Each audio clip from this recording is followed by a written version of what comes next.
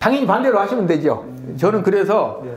어, 이제 그 지금 반대 네. 입장을 제가 말씀을 드리면 네. 돈으로 이- 보는 사람들. 그렇죠, 그렇죠. 돈으로 보는 사람들 입장이 이분들 그러니까 지금 성격이 소심하고 이런 분들이 지금 반대로만 하시면 되는 거예요. 그래서 부동산을 좀 다른 시각으로 봐야 되는데 네.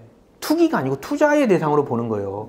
그러니까 주식은 투자고 부동산은 투기냐 이거 말도 안 되는 소리거든요. 그래서 어, 주식을 왜 삽니까? 결국에는 내가 천만 원치 사서 천오백, 이천만 원 되기를 바라고 그럼 그건 투기 아닌가요? 그래서 부동산을 투자 물건의 하나로 봐야 돼요. 왜? 에, 우리 작가님 같이 우리가 자본주의에서 살고 있잖아요. 그러니까 자본주의에서 지금 어, 돈이란 말을 안 하고 돈이란 말을 빼고 살 수가 있나요? 어, 그 사람은 자본주의에 살 자격이 어- 보면 없는 거죠. 근데 그걸 애써 감출 필요가 없다는 거예요. 그러니까 옛날 선비같이 그냥 돈을 뭐 하찮게 보고 이거는 아니라는 거예요. 시대가 바뀌었으니까. 그래서 어, 투자 물건의 하나로 보는데 아까 같이 주택으로만 한정할 게 아니라 다양한 물건이 있으니까 네. 어, 내가 주택을 잘 몰라. 그러면 뭐 오피스텔이 됐든 토지가 됐든 뭐 분양권이 됐든 그러니까 결국엔 공부가 필요한 거죠. 그런 다양한 투자의 수단으로 봐야 된다는 거예요. 그리고 투자의 종류가 너무 또 많다. 네. 그러니까 단순히 아까 같이 부동산은 뭐 투기꾼들이 하는 거고 뭐 망국병 이게 아니라는 거예요. 종류도 많고 실제로 주식과 같이 그걸 삼으로 인해서 자 보세요. 아파트를 팔려고 해. 그럼 내가 샀어. 올랐어. 이게 투기인가요? 내가 들어가서 살기도 하고 판 사람은 자기가 그 돈으로 다른 걸 또 할 수도 네. 있는 거고 하는데 이 경제가 돌아가는데 그렇죠, 그게 투기인가요? 망국병인가? 이건 아니거든요. 그러니까 이게 벌써 시각이 다르잖아요. 네. 그래서 이게 전혀 이제 생각했던 거하고 아까 같이 반대로 생각을 하시는데 그 다음에 또 이런 거 있잖아요. 가격이 올랐어. 그러면 정부를 욕할 게 아니라 내가 투자를 못한 거를 생각을 해야죠. 그래서 아 빨리 어디 괜찮은 게 없나 네. 이거를 찾아보는 게 순서지. 정부 욕한다고 뭐 집값이 다시 떨어지는 것도 아니고 자기한테 뭐 이득되는 것도 아니잖아요. 네. 그래서 어, 그런 이제 그 마인드가 굉장히 중요하다는 거고 그 다음에 이게 있잖아요. 그 투자를 하다 보면은 자기가 아는 지역 아니면 뭐 서울 수도권 이렇게 좀 한정돼. 그렇죠, 그렇죠. 그런 거 다 필요 없고요. 투자는 지역 불문, 그다음에 투자 물건 불문이에요. 네. 그러니까 막 경기도를 벗어나서 네. 어, 뭐 충청도, 제주도, 뭐 경상도, 전라도까지 다 투자를 사실상 하는 거고 물론 그렇게 되면 약간 투기꾼 냄새가 나지만 투자잖아요. 투자자, 자본주의에서 살잖아요. 그래서 지역도 한정할 필요도 없는 거고 아까 같이 부동산의 물건은 다양하기 때문에 물건의 품목도 상관이 없이 얼마든지 예, 우리가 이제 투자의 대상으로 할 수가 있다. 그리고 어, 그럼 자연스럽게 이제 적극적인 성격이 그런 분들이 많다는 거예요. 그러니까 내가 소극적이다 그러면 좀 더 과감해질 필요가 있는 거죠. 예, 그러니까 돌다리는 아, 밟아보면 안 무너지니까 그냥 지나가면 된다. 이런 생각으로 이제 하시면 되는 거예요. 그리고 대출이라는 거는 어찌 보면 반드시 필요하다. 부동산에서의 레버지, 레버리지는 거의 필수다라고 생각을 하시고 네. 내가 대출 이자 나가는 것만큼 더 벌면 되잖아요. 그런데 사실상 자본주의에서 은행 대출보다 싼 거는 없어요. 네. 뭐 사채로 빌려야 되는데 그치, 그치. 많이 빌리지도 못하고 네, 그래서 은행 이자만큼 사실은 싼 게 없다. 이 개념이 정확하게 되면은 그냥 어, 투자하시는 분들 보면 나오는 데까지 최대한 뽑는 거죠. 안 되면 막말로 얘기해서 경매 넘어가면 된다 이런 식- 생각으로 이- 하면 되는 거고 그래서 어, 미래를 사는 거기 때문에 그렇고요. 어, 역시 이제 공부가 필요한 거고 인맥 쌓기도 필요한 거고 그래서 이제 이런 분들이 보면은 한번 투자를 해본 해봤는데 누구 얘기를 듣거나 자기가 판단하거나 그러면 한 번이라도 성공을 하거나 네. 그러면 제가 이제 계속 투자를 할 거 아니에요. 근데 또 한 번 좀 실패하더라도 어 내가 거기서 좀 배웠네. 음. 그리고 또 계속 투자를 하는 결국에 이런 스타일로 가야 된다는 거예요. 그래서 어, 저 입장은 이제 당연히 이제 적극적으로 이제 이쪽을 지지하는 편이죠. 예, 부동산을 이제 적극적으로 지, 지지하는 편이죠. 그 실제로 중개사무소 하시면서 이제 부동산을 돌로 보는 사람도 많이 만났을 그렇죠. 예, 돈으로 예. 보는 사람 많이 거예요. 그렇죠. 그리고 지금 위례에 계신 지 8년 됐으니까 예, 예. 거의 10년 가까운 시간이 예, 건데 예, 예. 이 돌로 보는 사람과 돈으로 보는 사람 어떻게 차이가 벌어졌나요? 10년 동안. 그게 이제 크게 보면 네. 한마디로 얘기하면 이제 100%는 아니지만 네. 결국에는 부돈산으로 보시는 분들이 다 성공을 하신 거죠, 사실은. 그런데 이런 분도 있죠. 아, 내가 10억에 샀는데 이게 7억으로 떨어졌다, 네. 8억으로 떨어졌다. 이런 경우 당연히 있죠. 그렇죠, 그렇죠. 예. 그러면은 이게 이제 결국에는 고점에서 사서 이제 지금 좀 떨어진 이런 저점으로 가는 이런 형태인데 이거는 어떤 투자자도 마찬가지잖아요. 네. 주식을 투자하든 뭐 비트코인을 하든 비트코인 도 얼마나 무섭습니까? 네. 그런데 이 부돈산을 저는 적극 지지하는 이유가 결국에는 거기서 가장 그 핵심적인 건데요. 투자의 핵심인데 다른 거하고 부동산은 달라요. 그런데 부동산은 인플레이션을 해지라고 하잖아요. 네. 인플레이션을 방어할 수가 있다는 거예요. 왜 그러냐면 이게 우리가 간단하게 얘기 드리면 30년 전 가격, 50년 전 가격하고 지금은 뭐 너무도 큰 차이가 벌어졌잖아요. 그렇죠. 간단하게 뭐 라면 하나만 그래도 짜장면 네. 하나 예를 많이 들죠. 짜장면 저 뭐 옛날에는 국민학교라 그랬죠. 저 다닐 때는. 국민학교 다닐 때 500원이면은 제가 부모님한테 그 500원짜리 지폐로 500원을 받으면 200원인가를 사 먹고 돈이 남았어요. 어. 근데 짜장면 요즘 200원 합니까? 근데 그게 어, 우리가 약간 착각하는 게 있어요. 네. 착각이라기보다는 좀 시각이 다른 건데 굉장히 물가가 많이 올랐잖아요. 네, 올랐죠. 당연히 올랐잖아요. 그런데 반대예요. 화폐 가치가 떨어진 거죠. 음, 이 화폐는 계속 찍어내게 돼 있기 때문에 자본주의에서는 네. 결국에는 화폐 가치가 떨어진 거예요. 그런데 부동산을 내가 가지고 있었다. 10년을 보유하면 부동산은 가만히 있는데 화폐 가치가 떨어진 거예요. 아. 그러니까 사실상 오른 거죠. 그렇죠, 그렇죠. 그래서 보면 부동산은 내가 고점에서 샀는데 이게 떨어졌어. 그러면 기다리면 돼요. 음, 그러면 당연히 올라. 이건 100%예요. 이건 자본주의가 변하지 않는 이상, 특히 우리나라 같은 경우에는 어, 이거는 그냥 무조건 오를 수밖에 없는데 그게 오른 게 내가 잘한 게 아니고 화폐 가치가 떨어진 거예요. 지금 사실은 작년에 이제 1, 2년 사이에 엄청난 가격 폭등이 일어났는데 네. 그 원인이 대부분 전문가들이 이렇게 진단을 합니다. 미국에서 너무 많이 화폐를 증발한 네. 거예요. 너무 많이 찍어낸 거예요. 그게 그대로 반영이 된 거예요. 한국도 금리 올리고 하는 이유가 이제, 이제 슬슬 이제 인플레를 잡으려고 하는 거니까. 그 인플레가 간단한 거예요. 부동산 가격이 올랐다고 우리는 표현을 하지만 화폐 가치가 떨어진 거예요, 오히려. 그러니까 이 화폐 가치에 주목을 해야 돼요. 그런데 앞으로 10년간 화폐 가치가 떨어질 거냐? 100%예요, 그냥. 100%. 100%야. 이거는 그냥 경제학자를 들여보낼 것도 없어. 근데 우리는 이렇게 얘기를 하죠. 인플레이션이 일어나서 부동산 가격이 올랐다. 이렇게 얘기해도 네, 같은 그렇죠. 말인데도 어감이 전혀 다르죠. 무조건 화폐 가치는 떨어지는 거예요. 그래서 왜 이유는 뭐냐? 인플레는 당연한 거예요. 경제 그냥 1분만 공부하시면 계속 돈은 찍어내게 돼 있어요. 그래서 어, 요즘 이제 국민연금하고도 연결되지만 국민연금이 뭐 고갈되네. 걱정하지 마세요. 얼마든지 찍어내니까 돈은 예, 걱정하지 마세요. 예, 그거는 제가 보증을 합니다. 정부보다 더. 예, 그러니까 딱 이런 거예요. 어, 10년만 놓고 봐도 예, 이런 거잖아요. 오- 산사 사서 내가 올랐다 그럼 당연하게 이제 투자 수익을 거뒀는데 네. 불안한 게 이거잖아. 샀는데 떨어졌다 그럼 좀 더 기다리면 돼. 거기서 좀 더 기다리면 돼요. 그러니까 거의 그냥 이거는 거의 진리에 가깝다. 예. 어, 그게 이제 제가 여러분이 다 아시는 잠실 5단지로 예를 들면 네. 뭐 10년 전에 34평형이 뭐 한 13억 예를 들면 이렇게 했었어요. 그게 어, 뭐 10억 이렇게 떨어졌었어요. 네. 근데 13억에 사서 10억에 떨어졌죠. 기다리면 돼. 음, 지금 25억이 넘었죠? 네. 어, 기다리면 돼. 근데 혹시 25억에 샀는데 또 떨어졌어. 기다리면 돼요. 30억 고초 갑니다. 예, 그러니까 그거는 부동산이 오른 게 아니고 화폐 가치가 떨어졌으니까 그 인플레이션을 방어하는 수단이 부동산이다. 어, 화폐 가치는 100% 떨어진다. 그 두 가지만 대입을 하시면 그냥 장기 투자가 결국에는 이제 정답이다. 이렇게 되는 거죠. 예. 작가님 얘기를 쭉 들으시다가 예. 아직 내실만을 못 하시는 분들이 예. 좀 고민이 깊어질 거예요. 예, 예. 왜냐면은 지금 이제 화폐 가치는 100% 떨어진다. 예, 10년 후에 예. 말씀하셨고 예.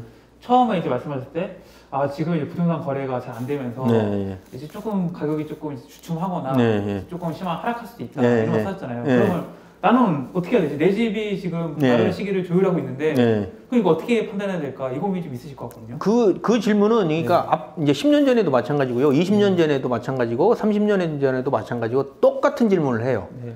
네. 사는 사람 입장에서는 네. 내가 싸게 사고 싶거든요. 그쵸, 그쵸. 그리고 네. 내가 지금 당장 현금이 들어가는데 남 얘기가 안 들리는 거예요. 난 싸게 사는 게 중요한 네. 거니까. 근데 어, 솔직히 이제 타이밍상 보면 네. 어, 좀 기다리는 게 저가 보기엔 좋아요. 그러니까 현재는 이제 매수 타이밍은 솔직히 아니다. 네. 왜 그러냐면 더 떨어질 수가 있으니까. 그러면 아, 내가 5억에 샀는데 4억으로 떨어지면 1억이 그냥 난 손해잖아요. 네. 그런데 한없이 떨어질 수는 없는 거거든요. 그래서 어, 제가 보기에는 어, 이제 이런 거죠. 어, 이제 지금 단기로 보면은 어, 일단 뭐 대통령 선거까지는 큰 변화는 없을 것 같아요. 네, 지금 그렇죠. 상태에서. 어, 근데 어, 대통령 선거가 끝난다고 해서 뭐 특별한 게 없어요. 어, 뭐 개발 공약이라는 것도 의미는 없어요. 그렇죠. 근데 어, 결국에는 이제 그 미국 금리도 봐야 되고 그래서 저도 몇 가지는 보는데요. 네. 전문가들처럼 또 물론 빅데이터 얘기도 요즘 많이 나오잖아요. 근데 네. 그걸 또 반드시 돈다고 해서 또 맞는 것도 아니고 그렇죠. 저는 예를 들면은 한두 가지만 보는데 네. 아까 제가 얘기 드렸던 거래량. 거래량. 근데 지금도 거래량이 아직 안 살아나잖아요. 네. 그러면 거래량만 보면은 아직은 좀 기다려야 될 때라는 거예요.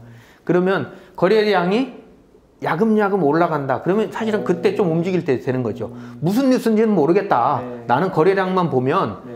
지금까지 없다가 슬슬슬슬 올라가네. 그러면 네. 그냥 그때는 이제 지를 수밖에 없는 거예요. 내가 정말 내가 집 하나 살려고 하면. 그런데 아까 같이 샀는데 또 떨어질 수도 있잖아요. 네. 기다려야죠. 5년, 10년 기다리는 거지. 내가 뭐 투기 하려고. 여러분 투기 싫어했잖아요. 투기 하려고 집 산 겁니까? 내가 집 들어가서 살고 조금 떨어졌는데 어, 명백하게 내가 5년이나 10년 있으면 오를 거야. 그럼 된 거지. 그러면은 신입니까 우리가 최저에서 사고 파는 사람은 그럼 어떻게 하란 말이야 파는 사람은 조금이라도 더 받으려고 지금 한- 생각하고 있는데 살 때는 내 입장만 생각한다는 거죠. 그러니까 계속 한없이 떨어지길 기다리고 있는데 그건 꿈과 같은 얘기고 어, 거래량이 늘기 시작하면 어, 일단은 매수 타이밍이다. 그 다음에 금리가 좀 중요한 건데요. 네. 어, 내가 사야 되는데 결국엔 돈으로 사는 거거든요.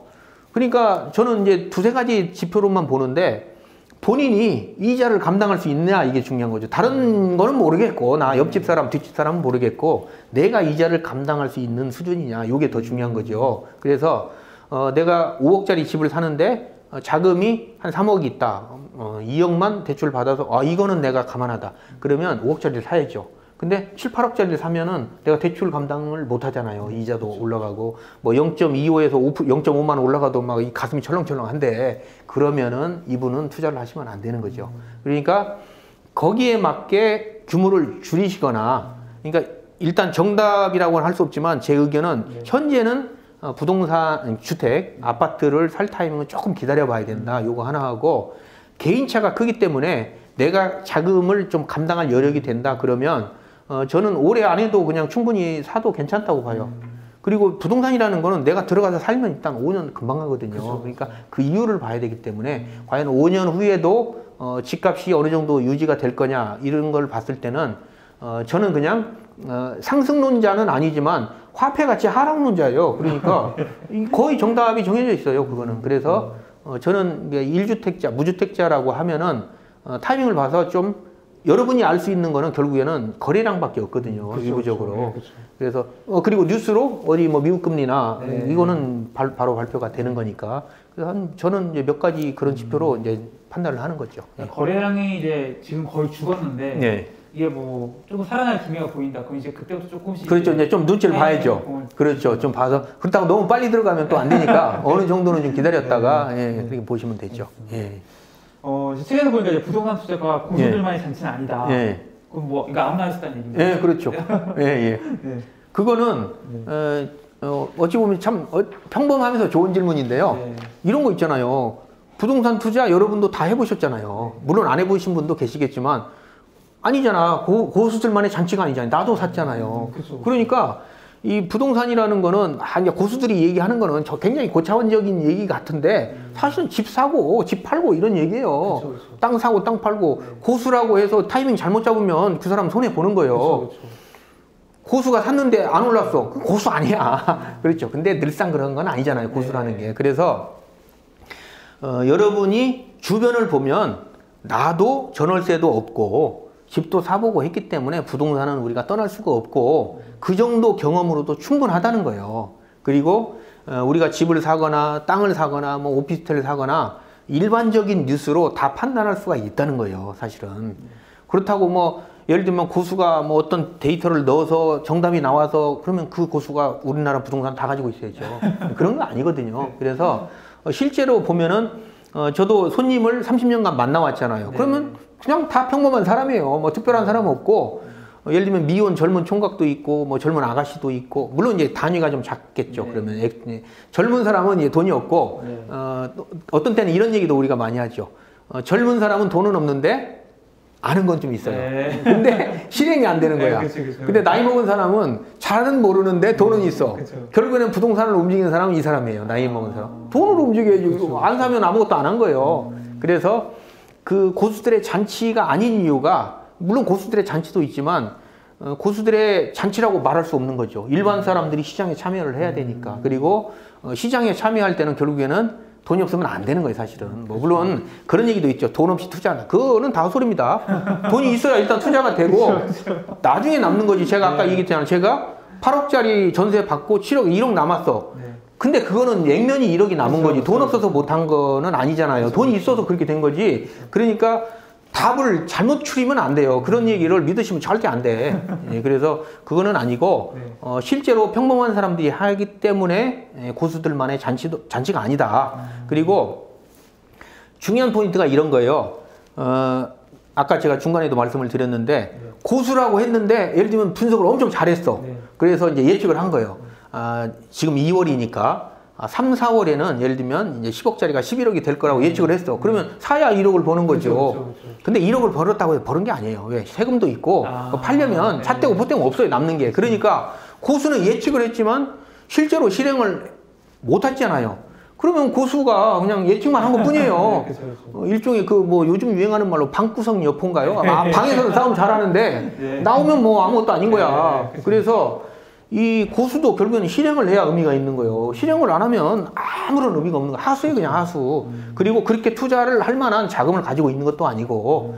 그래서 어, 일반 사람들이 실행을 해야만이 결국에는 부동산 시장이 움직이는 거잖아요. 그러니까 어, 누구나 다 시장 참여가 가능하고 어, 그리고 고수라고 해서 모든 걸 다 아는 것도 아니고 안다고 해서 모든 걸 다 살 수도 없는 게 아니고 이렇기 때문에 어, 어찌 보면 여러분이 생각하는 그런 시장이 맞는 거예요. 평범한 시장. 예, 그리고 좀 몰리면 좀 올리 올라가고 뭐 좀 빠지면 또 가격 빠지고 이런 형, 뭐 자연스러운 현상이에요. 그게. 그래서 어 뭐 아까도 얘기 드렸지만은 어 내가 어떤 정보를 안다고 해서 빨리 들어가서 그 먹을 수 있는 게 있고요. 네. 부동산이라는 거는 또 좀 있으면 좀 지나서 또 먹을 수 있는 게 있고 또 뒤에 남은 걸 먹을 수 있는 이런 시장이에요. 부동산이라는 게. 그래서 어, 예를 들어서 한 가지만 얘기 드리면 어떤 그 개발 재료가 나왔어요. 네. 뭐 안산에 무슨 선이 발표됐어 네. 막 했다더라. 그러면 발표 나기 전부터 어떤 정보를 알고 있는 사람은 사서 그렇죠. 어쩜 좀 이득을 남길 수도 있고 아 뉴스를 빨리 가서 빨리 사서 좀 하는 사람도 있고 아예 그냥 1, 2년 지나가서 사는 사람도 있고 이래도 다 당연하게 먹을 게 있다는 거예요. 그게 하나의 예를 들자면 아파트를 투자를 했는데 먼저 가서 산 사람은 싸게 사고 두 번째 간 사람은 좀 더 주고 사고 세 번째 간 사람은 더 많이 주고 샀지만 일시에 그게 다 나온 게 아니잖아요. 네, 500세대가 있었는데 500개가 일시에 다 나온 게 아니었거든요. 그래서 고수도 가서 사고 싶어도 못 사는 거예요. 그거 한두 개 샀어. 그거 먹고 끝나는 거예요. 두 번째 간 사람은 또 뭐 있던 거 좀 사서 먹고 끝났어. 이런 형태의 시장이기 때문에 뭐 주식처럼 뭐 저희 주식은 잘 모르지만 있는 주식을 싹쓸이 했다. 네. 뭐 회사를 통째로 샀다. 이런 개념이 아닌 시장이에요. 그래서 얼마든지 늦게 가도 먹을 게 있는 이런 시장이기 때문에 예, 고수, 하수 이런 다 같이 섞여 있는 시장이다. 그러니까 결국 이 부동산이라는 거는 뭐 특정 한 한두 사람이 움직일 수 있는 그렇죠. 게 아니에요. 예, 대중들이 그렇죠. 결국 움직이는 그렇죠, 거지. 그렇죠, 그렇죠, 그렇죠.